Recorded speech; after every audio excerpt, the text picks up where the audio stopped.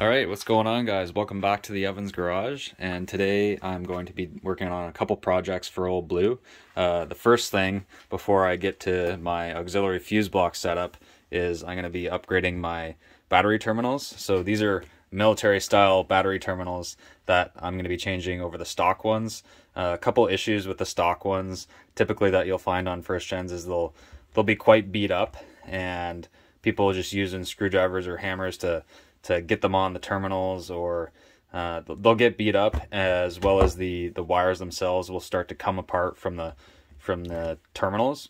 And then that'll expose some of the copper. It'll start to corrode. You might have issues with that. Um, another common issue is the tips of these uh, on the terminals themselves will start start to break off from people uh, clamping them on too hard.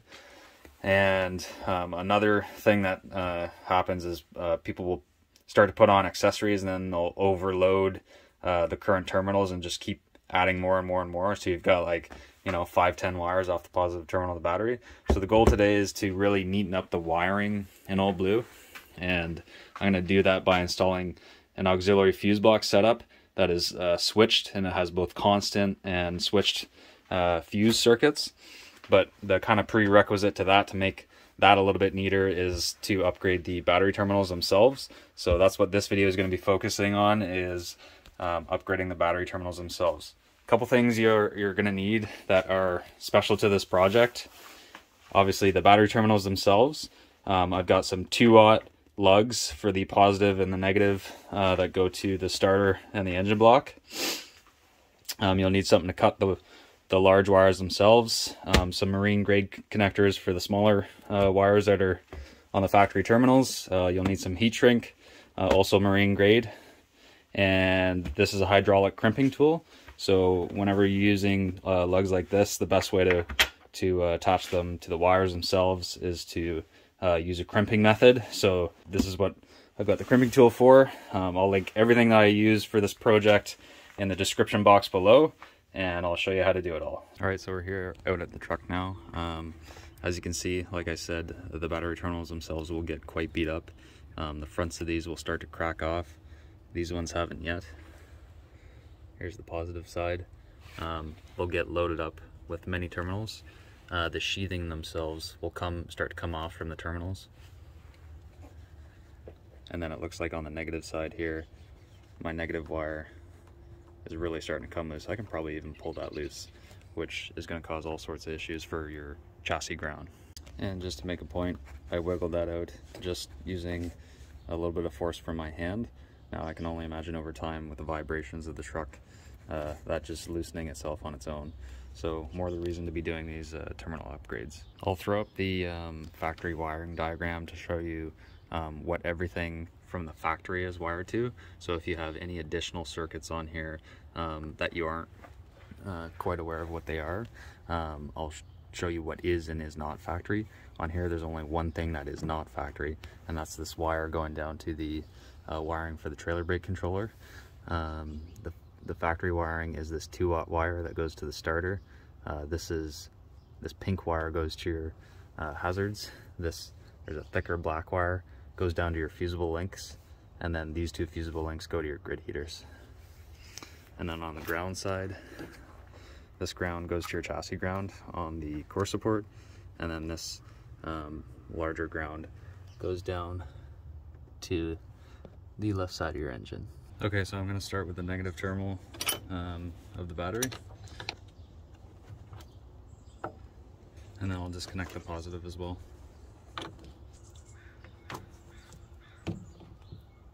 Okay, I'm going to start by snipping the chassis ground.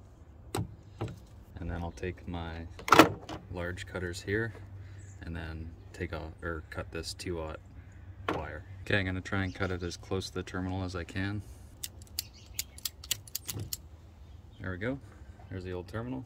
Okay, now I'm going to measure how far uh, to strip the wire back. I'm to go right where it starts to um, bend in there. That's how much wire I'm going to cut back mark it with my knife and then I'll cut around with my knife. Okay, got the sheathing off. Now you can see a little bit of the green uh, corrosion where the sheathing meets the wire. That's what we're trying to prevent Okay, I'm just going to take a scuff pad here and clean up the outside of the wire a bit. Okay, I just wanted to show you one nice thing about these battery terminals. So they're both labeled and uh, they're actually slightly different sizes because on a battery the negative terminal is slightly smaller than the positive terminal. So if I take my negative terminal, you can actually see, well, on both these terminals they're actually tapered if you look down them and the negative terminal won't fit well on the positive it'll only fit well on the negative and same with the positive so if I try to take my positive and put it on the negative it's too big. And they fit nice onto their respective terminals. Before I crimp on the lugs I'm, I'm going to clean up the studs of the battery and then install the terminals. The nice thing about these terminals is uh, when you install them, um, you can install them permanently and then you can actually take this bottom stud off for when you're wiring accessories to them. So you never actually have to keep taking these off and putting them back on, which is a nice feature because you won't damage them.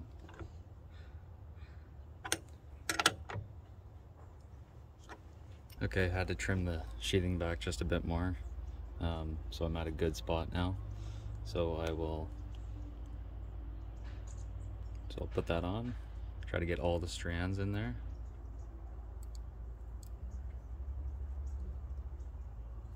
Alright, so I'm going to take this uh, terminal and just align it to its most uh, natural position here, like rotation wise.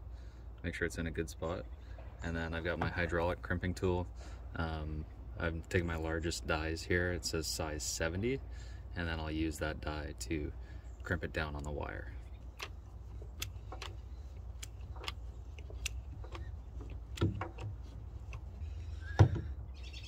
Okay, I've got it crimped down as far as I can go. Now I'll back it off. So there's the crimp. I'm definitely not pulling that off. And what I should have done was I put I should have put my heat shrink on before I crimp this, but I believe I'll be able to slip it over anyways.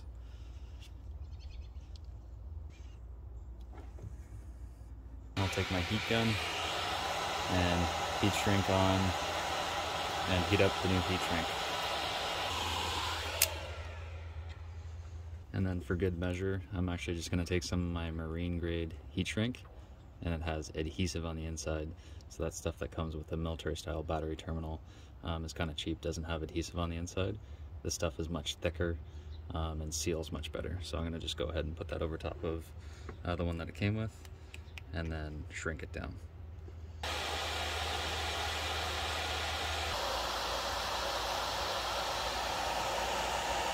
Okay, I'm gonna redo my body ground now. Okay, what I'm gonna do with this wire is put uh, marine grade terminals on each end with new heat shrink. Uh, this end's gonna have 3 8 uh, diameter on it so it can bolt right to here. And then this end I'm just gonna change so that way that factory screw can go through there again. All right, I've got my new terminals on with my new heat shrink. Now we can go ahead and assemble the whole negative terminal.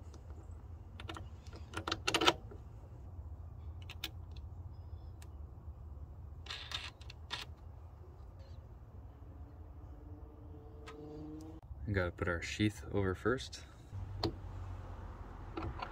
And then we can slide it on up, cover up the negative terminal for a nice clean install. Okay, now we will cut off the positive terminal. Go. There's the terminal. So we've got our uh, 2-aught cable to the starter, the pink to the hazard wire, these two to your grid heaters, and then this one goes to your fusible link duct foot. Okay, now so for these three wires, I'm going to go ahead and put the terminals on. I'll start with the one that goes to the fusible links here. This is the black wire, and then I'll cut back some of the tape and reroute the pink wire and then go ahead and put my 2-aught lug on the large cable. Alright, I've got my new lug on the positive terminal for the battery. Uh, this is the wire going to the starter. What I'm going to do is just wire this on to the terminal for now, and then I'll show you a couple things I'm going to do for my new auxiliary fuse block setup. Alright, at this point I'm going to wire um, my factory wiring that was on the positive terminal over to this bus bar that I just installed as a part of my fuse box setup. So my, the two wires on the left to my grid heaters, the pink wire to my hazards, and then uh, the far wire on the right to my fusible links. You're all going to get wired right to this bus bar, which will be after after my circuit breaker.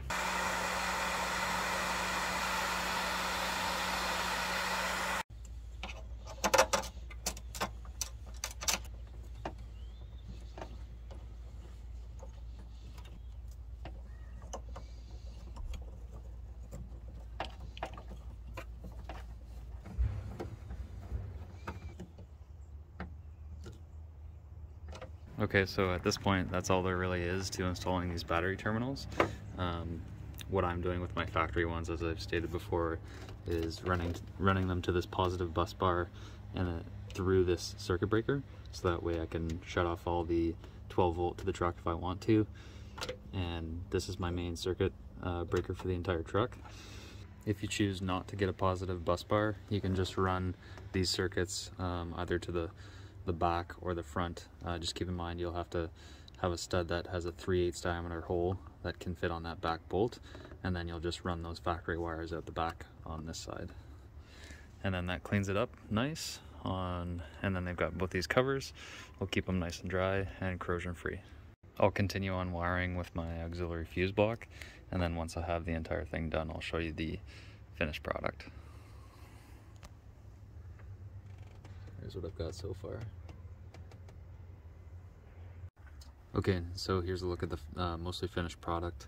Um, minus I've got to do a bit of trimming to make that fuse block cover fit because of those 4-AUG wires. Um, I've got my gauges installed to that fuse block. I'm going to install my CB on there next. But uh, this is pretty much mostly wraps up the battery terminal project as well as my fuse block project. All right, so that wraps up the install job of these um, military style battery terminals. I've got uh, my new terminals on and my auxiliary fuse box setup uh, completely installed and um, that wraps up both those jobs. So up next I'm going to be working on installing my CB radio and I'll show you how to do that one. Thanks for watching guys. Cheers.